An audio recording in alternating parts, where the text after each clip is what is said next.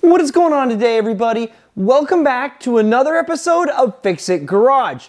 Today, we're leaving my shop and we're heading over to my buddy Bob's house where we've got a special project to do on a Chevy Colorado ZR2. Today, we're gonna be installing a new front lower bumper section with a Badlands winch and some fog lights. Nothing too crazy complicated, but it is going to make the truck look a lot better and it's gonna make it more usable for the owner. Before we head over and get started, I wanna remind you guys that if these are the kind of videos you like to see, don't forget to smash the like button and subscribe to the channel so you guys don't miss any future videos. And always reach out to me in the comments section. I love reading the comments after every video and see what you guys have to say. But now let's head over to Bob's house and we can start disassembling this Colorado ZR2.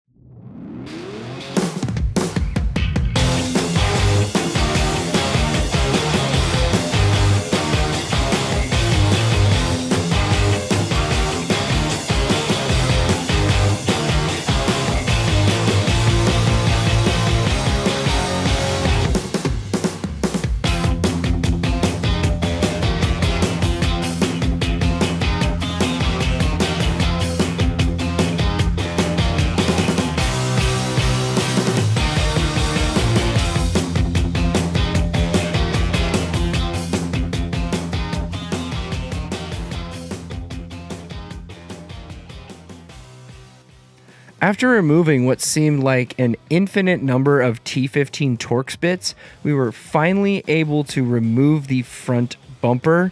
There were some hidden 10 millimeter bolts that were in the gap below the below in that lower grill section, but there was also like 15 million T15 Torx bolts on this bumper, as well as some hidden 7 millimeters that were on the inside of the bumper between the bumper and the fender.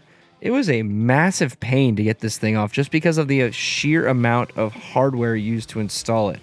GM was definitely not messing around when they made this bumper. They wanted it to never, ever, ever fall off.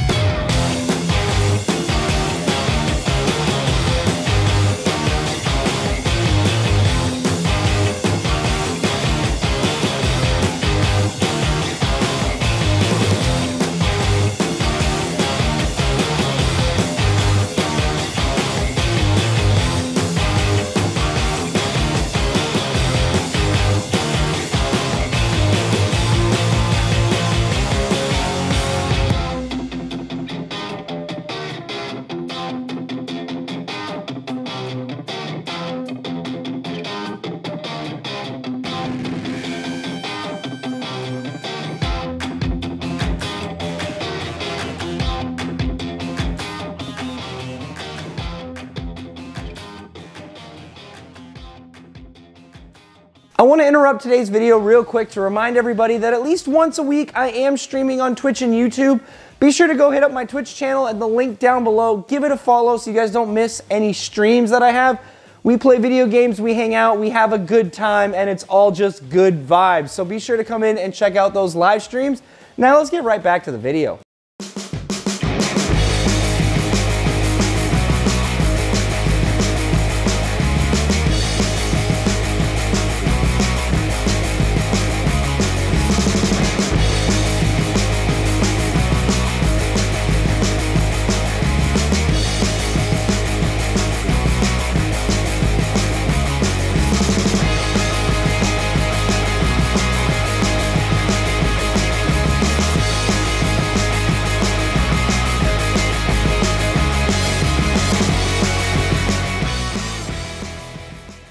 With all of the brackets removed off of the front end of the vehicle, it was time to cut the bumper. And who better to cut it than the owner? So for some reason they made a mistake, it was on them and not us.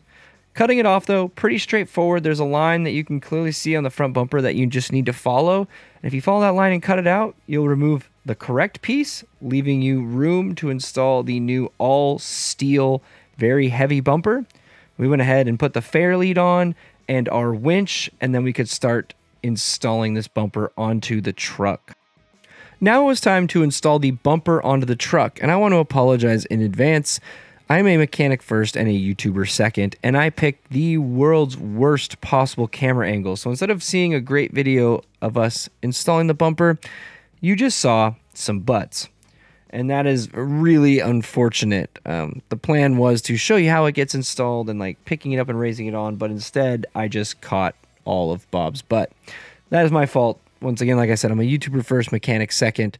Um, it is advised though when you do a bumper install like this with a heavy steel bumper, whether it's a partial bumper or a full one, have some assistants help you. That way you can have some people hold the bumper while you install the bolts and you don't have to worry about, you know, dropping this heavy steel bumper on your foot or on your leg or, or hurting yourself with it or throwing out your back trying to pick it up. Always have an assistant when you're doing this. But yeah, pretty straightforward. Put the bumper on, install the bolts, Bumper was done, and we just needed to wire up the winch, and then that section of the vehicle would be good to go.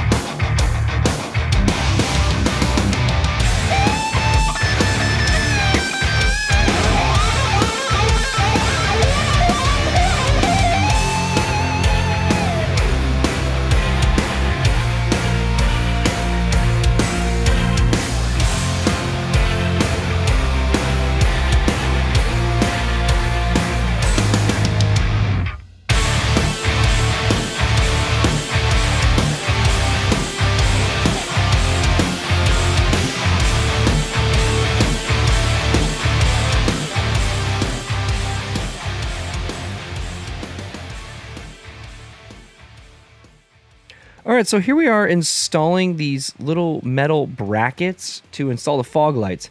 In the directions for the bumper, this plastic trim piece, they actually tell you to just remove it and throw it away. Well, we had a fog light bracket that went in there, so we cut and modified that grill piece to fit back in the vehicle with the winch installed. And with that, we were able to mount up some brackets on it that allow us to mount four fog lights in the bumper. And I gotta say, those fog lights in there look sick. This is something that's super cool, and it's actually really not that hard. It was three Allen bolts per bracket. I just had to widen the holes that were already there. Like they were designed to fit in holes that already existed in the grill. So we went ahead and got those brackets installed, and then we could start fitting up the fog lights.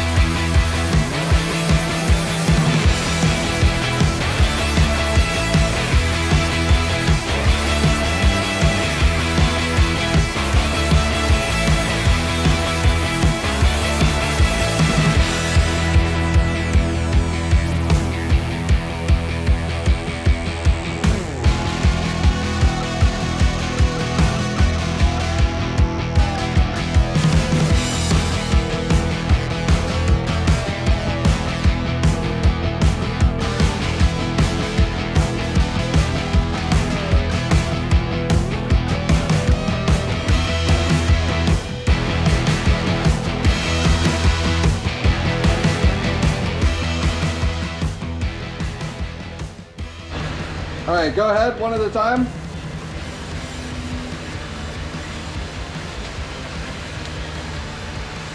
Now the next one. And now all of them? Yeah. All right, go and turn them off. And then uh, hit the, hold the boat on the winch for three seconds and I'm gonna switch it out and winch it back in. Out. Oh wait, hold on a second. There we go. Out. And back in.